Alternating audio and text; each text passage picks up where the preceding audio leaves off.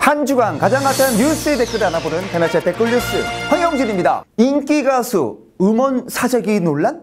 지난 8일이었죠. 김근태 국민의당 비례대표 후보가 그룹 볼빨간 사춘기, 공원소녀, 가수 영탁, 이기광, 송하예 등이 한 마케팅 회사의 작업으로 음원 순위를 조작했다고 의혹을 제기했습니다. 김 후보는 중국 등지에서 불법 취득된 개인정보로 생성된 아이디와 일반 사용자의 계정을 해킹해 취득된 아이디가 음원 차트 조작에 활용됐다면서 조작에 이용당한 국민 1716명의 다음 및 멜론 아이디 명단을 확보했다. 대상은 1935년생부터 2003년생 까지 남녀노소에 상관없이 광범위했다라고 전했습니다. 함께 순위가 조작된 가수로 고승현, 공원소녀, 배드키즈, 볼빨간 사춘기, 송하예, 영탁, 요요미, 소향, 알리, 이광으로 언급을 했습니다. 이에 소속 가수들은 사재기는 전혀 사실 무근이다. 사재기와는 무관하다. 허위사실 유포에 대한 법적 대응을 할 것이다라고 입장을 밝혔습니다. 여기에 수많은 댓글이 달렸습니다. 영탁 노래 최고인데 음원 사재기 말도 안 돼. 실력이 되는데 조작해서 뭐합니까? 이거 발언한 사람은 영탁 무대를 1도 본 적 없는 듯 소양이랑 볼빨간 사춘기가 껴있다니 영 신뢰가 안 가네. 저분들은 음원 사재기로 인기 얻을 급이 아닌데. 그죠. 저분들은 그냥 내년 1등인데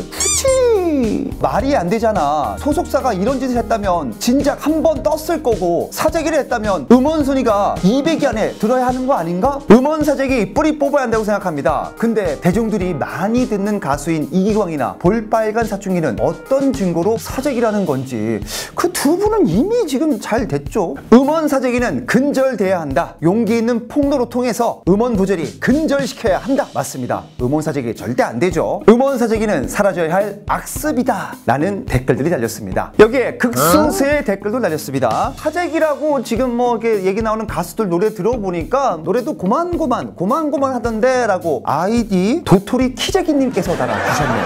예.